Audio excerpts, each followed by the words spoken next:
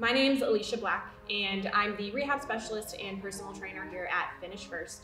And growing up as a student athlete, I had a lot of opportunity to work with a variety of coaches and training styles.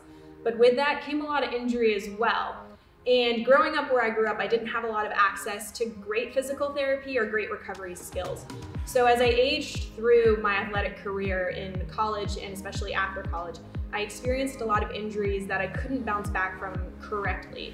So it wasn't until I had a pretty um, horrible injury that it made me step back from training to realize what I was actually doing and how I was actually recovering.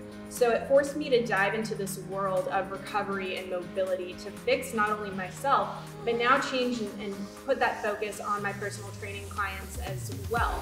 So that's what really got me into what recovery, what rehab, what mobility actually means for training and having those two worlds married together. So we have this nice cohesive way of actually programming and training for people so we prevent injury, but get you to the goals where you want to be.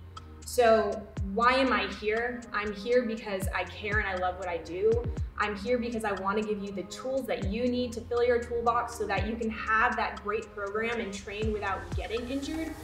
But I'm here because I don't like settling for second place. That's why I finish first.